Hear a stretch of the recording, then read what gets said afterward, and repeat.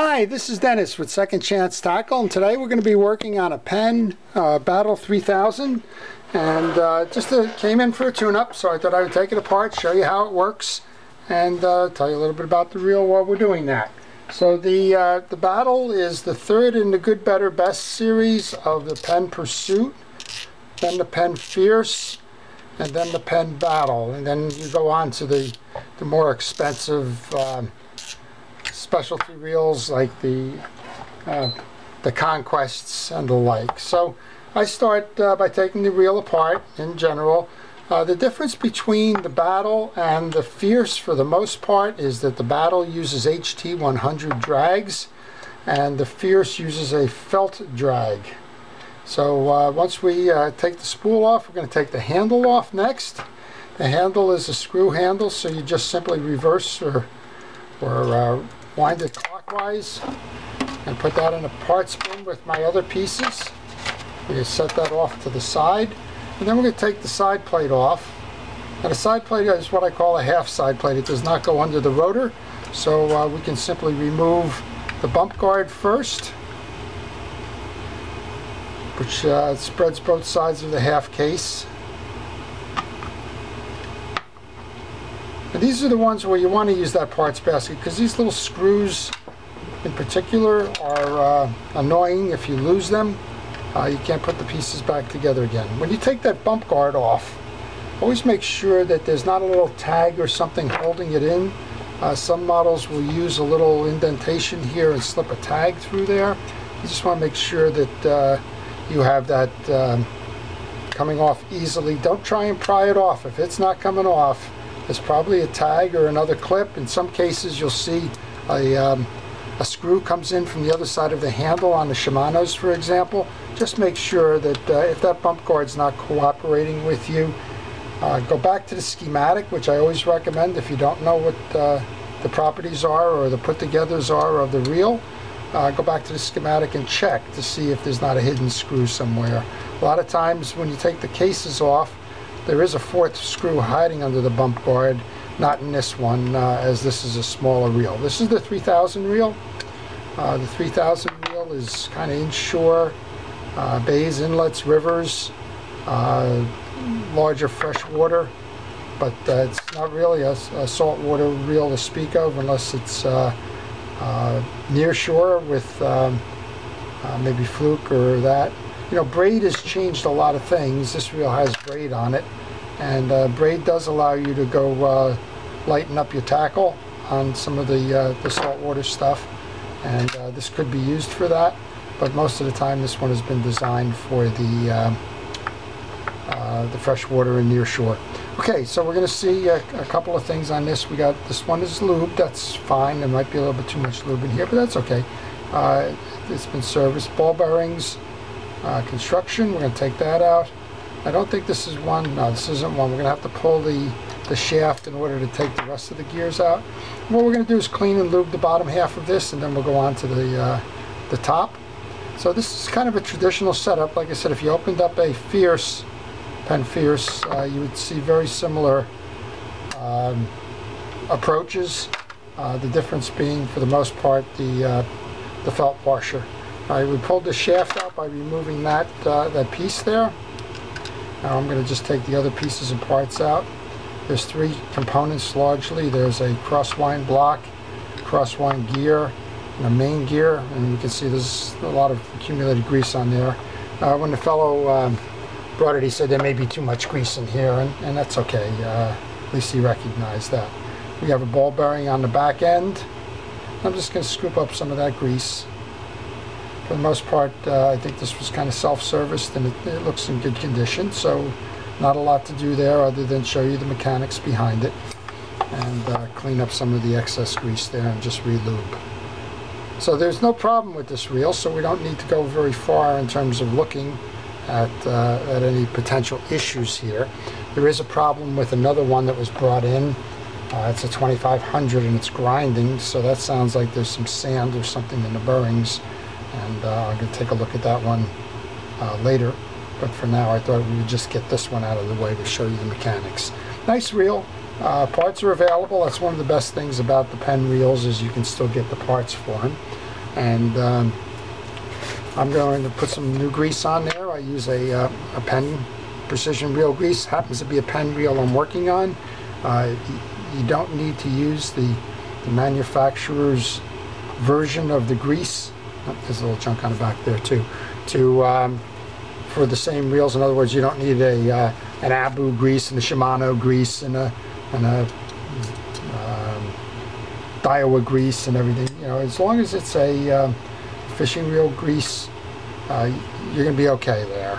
Uh, just make sure that uh, you use that and not an automotive grease or, uh, or something else like Vaseline, which I've seen used on reels as well. Okay, and crosswind block just simply sits right on top of the stud on the crosswind gear.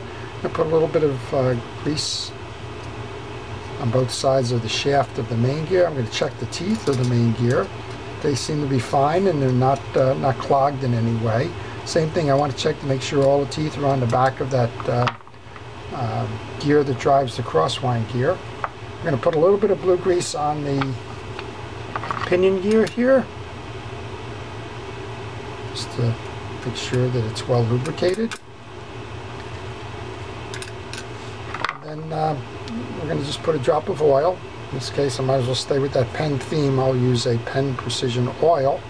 These are available uh, online. All you have to do is simply put in uh, Penn Precision Grease or oil and you'll get a response. Uh, the supplier I use is Penn Part, what was PennParts.com. It's now uh, Mystic Parts, but uh, MysticParts.com. But uh, you don't have to use them. Uh, it just happens to be convenient and uh, they have great service, so I have no reason to go elsewhere in terms of trying to find the parts. So I'm taking out the screw, the screw now. I just dropped the main gear because I wasn't holding it. Grab that. Drop the main gear from the side plate. No harm, no foul. And uh, we'll go up top and we'll take this off. There's a, a collar that holds that uh, cap in place. Uh, the collar is held in by a set screw which we removed. In this case this nut is an 11 millimeter uh, nut and I like it because it's a cap nut. It won't allow you to over tighten when you um, when you go to reset it with the pinion. And there's a stop collar on the top of that so you can't screw it down any more than it needs to be which is another way of saying you can't screw it up I guess but uh, and just take those two and put that back in here for now and then we can pull a top assembly. And in this case we just have an assembly in here. There is an anti-reverse um, bearing underneath and then there's a bearing below that that uh, uh, guides the shaft. I always like to take the shaft and see if it moves. In this case there's no rock in there so the bearings are solid. So all I'm going to do is just put a drop of oil along the side shaft of that bearing uh, of the, uh, I'm sorry, of the pinion gear. Let that work its way down to the bearing. The other way I like to do it as well is the bearing is sitting right on top of this pinion shaft here, so I like to grab an oil and just flood that as well. And that's all you need to do on this side. So I noticed that uh, I said no harm, no foul. It did pick up a little bit of something on the floor there, so let's get that off. It looks like there was a little bit of dust or something. That's clean now. All right, so we can go reinstall them. It's that simple. We're going to grab the rotor and put that back on. The rotor is oblong. I'd like to call it rectangular, but it's got a little bit of a, a turn to it. I'm going to grab that cap nut. Now it can only go on one way because of the collar. This does turn in a uh, traditional righty-tighty kind of a, a way, turning it clockwise. That's why you have that uh, cap, uh, retaining cap with the screw there. And uh, you just want to grab that then we'll just reset the, the holder. I'm going to get that little set screw that came out there. This is why the parts basket works well.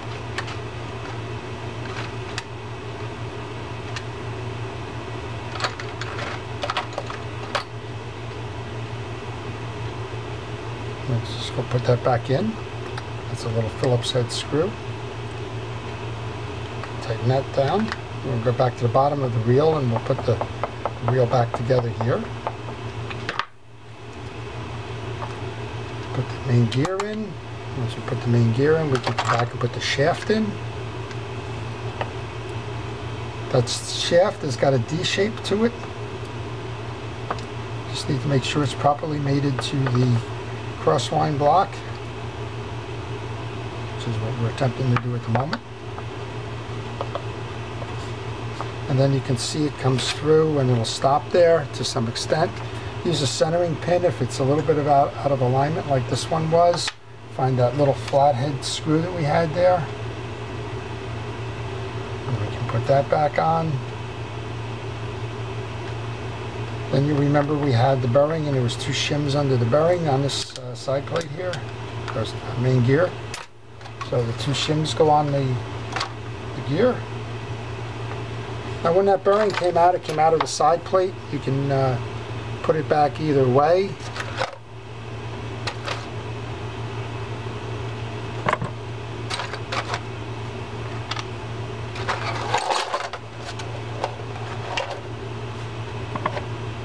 Just trying to find my side plate. Isn't that odd? The best of us, here. It's right in the bucket. Silly. All right, put the bearing on, put a little bit of oil on that bearing there. Turn that around and put that on. Then we can go for the three side plate screws followed by the bump guard. Then we can go up top to the, uh, the reel. Now, here's an example where the manufacturer does use Loctite on these screws. They use the, uh, the cool Loctite, the blue. Uh, a lot of times I'll say don't use Loctite on a reel, and I mean it. Uh, I'm, I've seen the red in there, and once you see red on there, uh, you can't get that screw out. And if you can't get it out, you, you risk damaging the reel or the thread screws. So I don't recommend using the Loctite at all. I think manufacturers probably throw that stuff on the first time around because they don't want these reels coming back uh, during the, the warranty period anyway. So I think that they uh, they overlube the insides of these, and I think what they do is they uh, they put a little drop there just so nothing falls off during the warranty period. After that, I guess they could probably care less, but uh, right now I know that, uh, that that's what I see. First service, you got to break that seal. All right, the bump guard goes on, followed by the little screw. That was the operative word here.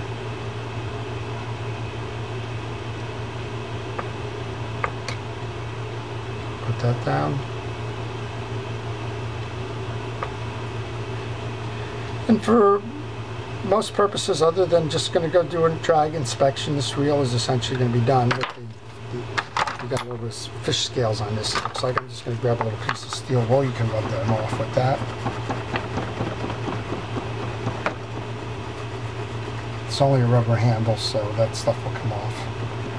Hmm. There we go.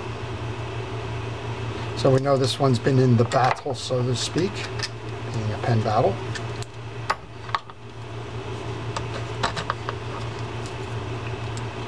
And this one turns counterclockwise in order to make the handle go back on.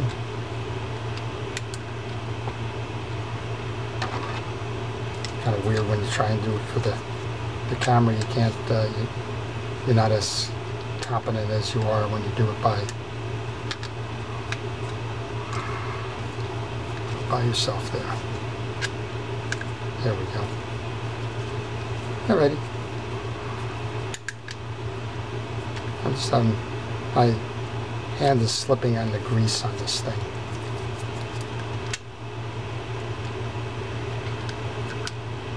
You don't want to force anything when you're working on reels. That's a, a problem that you can have that's going to cause you more grief than anything. Just take your time with it. Here we go. One more thing before I leave the service, there is a bearing on here. Uh, folks have asked me to make sure that I oil the bearing, so I will do that. And I just, uh, on the side plates here, it doesn't need oil on the side, but I just generally give it a squirt of WD-40 and just a couple of quick turns just to make sure that stays well. That's the bottom of your reel. Nice smooth operator. Let's just go over quickly to the top. These are HT100 drags, which are fabric drags. They differ, as I mentioned, this is one of the differences between the Battle and the uh, Fierce. The Penn Fierce uses a felt drag A lot of times people upgrade to get that felt drag out of there, although there's no, I haven't seen felt drag failures, but if you're fighting big saltwater fish, it could happen easily. Uh, a lot of major manufacturers use those felt drag systems, and uh, a lot of anglers would prefer the Carbontex for that, so they do uh, they do make the upgrade there, which is okay. All right, I've removed the stack. I'm going to lay that down and show you how that goes. So you have a the HT100 drag, a metal washer, another drag, another metal washer. The drags get drags grease on them because of the uh, the nature of that being an HT100. I use a Cal's Universal Drag Grease. You can use others. Uh, not a problem. You can use the blue grease if you, needed to, but this one's specifically designed for drags.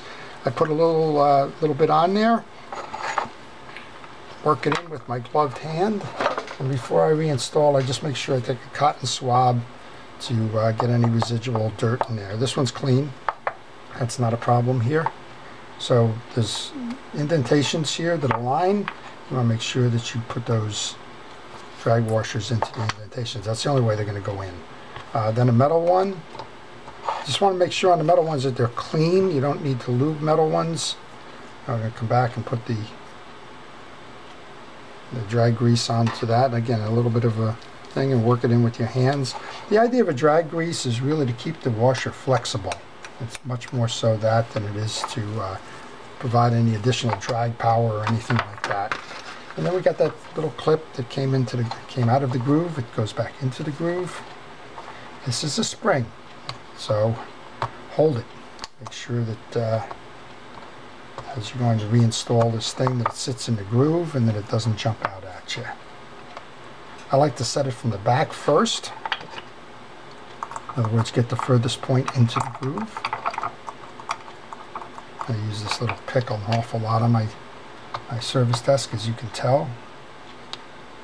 And then we can work that down, and then we can work the other side down. And then you make sure that it's uh, riding in there as it is here. And there's no, nothing here other than that's holding, holding this in place for the drag knob. Okay, we're back there. That goes back on the reel. We have a bearing up here we can put some oil on as well. Get a nice flood. And then we're essentially done with this reel. So that's the the uh, Penn Battle 3000 from top to bottom. It shows you the gearing system in there. Again, it's the best of the good, better, best between the Pursuit, the Fierce, and the uh, and the Battle. It's a nice, smooth operator. It's braid capable. So it's a nice reel to uh, to take fishing with you. So I hope you've enjoyed that. If you did, please like it. If you want to see more, uh, please subscribe to my channel. Again, this is Dennis with Second Chance Tackle. Thank you for watching.